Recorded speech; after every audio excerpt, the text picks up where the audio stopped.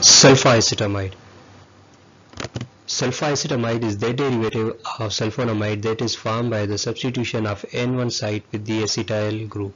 You may observe that at N1 site this acetyl functional group is present in the sulfacetamide chemical structure. This derivative of sulfonamide is highly soluble in water and because of this it can be useful for the treatment of various ophthalmic infections.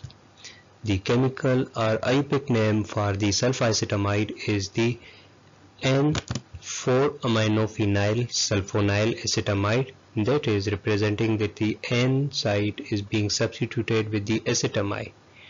Clear? And uh, another name is the N-sulfanilyl acetamide or N1 acetyl sulfanilamide that is the N1 site of the sulfanilamide is being substituted with the acetyl functional group